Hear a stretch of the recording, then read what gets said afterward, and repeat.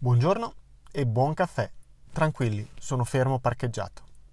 Ascoltavo l'altro giorno una trasmissione radiofonica in cui si parlava di carità, si parlava di affetto, si parlava di rispetto e mi ha colpito molto un'affermazione che ehm, affermava appunto che sosteneva che il rispetto è una forma riduttiva, caricaturale della carità non tanto il rispetto per la persona dovuto in quanto creatura, quanto il rispetto per le idee, il rispetto per i comportamenti, rispetto che tu la pensi in questo modo, rispetto quello che tu fai, perché sono tollerante e non voglio intervenire, non voglio importi il mio punto di vista. Questo era l'oggetto dell'attacco del conduttore.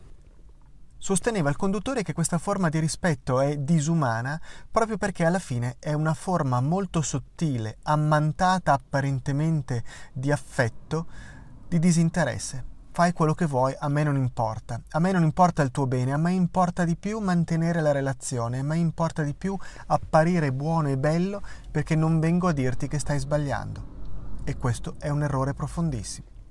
Sono completamente d'accordo, mi trovo in piena sintonia con quello che è stato detto. Il mio dovere, la correzione fraterna è un dovere di ognuno di noi, al di là della fede, è una questione di amicizia, è quella di aiutarti a comprendere perché sbagli secondo il mio punto di vista, secondo la verità. Potremmo parlare di questo.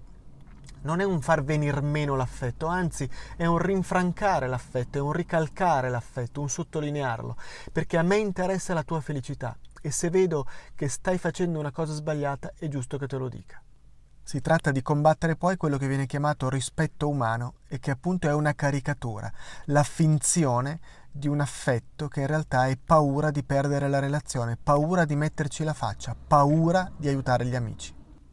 E allora diciamolo in maniera molto chiara, la carità non può fare a meno della correzione, perché è un modo attraverso il quale si dimostra quanto veramente teniamo ai nostri amici. Buona giornata.